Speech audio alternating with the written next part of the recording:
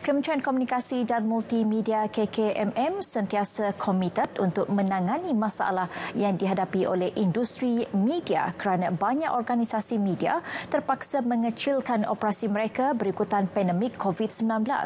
Justru menterinya Datuk Saifuddin Abdullah menegaskan KKMM melalui Perbadanan Ekonomi Digital Malaysia menyediakan kemahiran-kemahiran baharu sehingga dapat mencari pekerjaan dan memperoleh pendapatan dalam talian.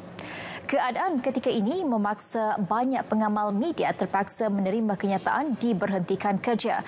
Antara inisiatif MDEC adalah Global Online Workforce GLOW Bencana yang merupakan program khas untuk membantu pekerja dan individu yang mendapatnya pendapatan terjejas teruk oleh wabak tersebut.